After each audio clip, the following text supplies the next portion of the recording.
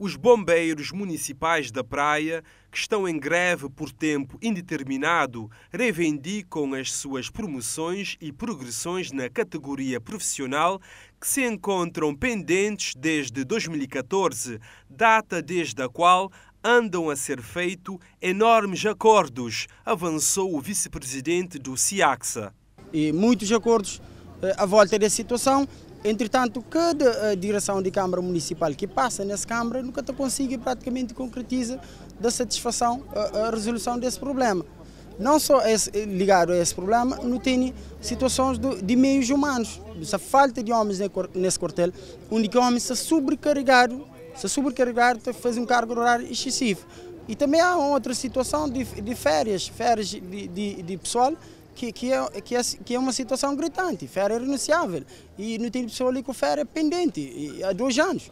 E que é bastante, que é bastante e para a pessoa que está trabalha em, em regime de turno. Esta greve, conforme o mesmo, serve para chamar a atenção das autoridades competentes, nomeadamente a direção da Câmara Municipal da Praia, para a resolução desse problema, tendo em conta que é uma situação desgastante que afeta a sociedade civil devido ao não cumprimento do acordo laboral celebrado com os bombeiros. Eu queria denunciar uh, um descarga de, de barco de, de, de, gás de combustível e gás butano, não é?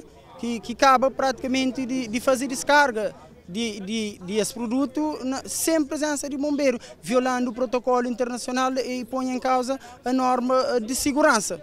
E que é bastante preocupante. Não tá, não tá, uh, agradece praticamente a intervenção das autoridades competentes para o devido efeito. Várias portas já foram batidas para a resolução deste problema, segundo Davidson Lima, adiantando que intentaram um processo no tribunal que até então está sem resposta. Então implora que, que seja praticamente dado uh, satisfação à resolução do problema, porque praia a torna vasto, a dimensão é grande. Então, cada hora está acontecendo um incidente. E nesse exato momento, o serviço mínimo que se dentro da Câmara Municipal de Praia, que te consiga dar resposta a, a, a, a, situações que está acontecendo, que está previsto acontecer ou que já está acontecendo no momento. Não tem uma progressão que, que é grande coisa, mas não tem. Não tem um acordo que bem desde anterior assumiram também para esta Câmara, mas que Câmara, nesse momento, pese embora assume acordo conosco, que rubrifica no orçamento para 2022 progressões de bombeiros, progressões e pagamento retroativo de que as coisas que nos estabelece. Não tem situações de subsídio de risco, que no mês tipo vão aumentar.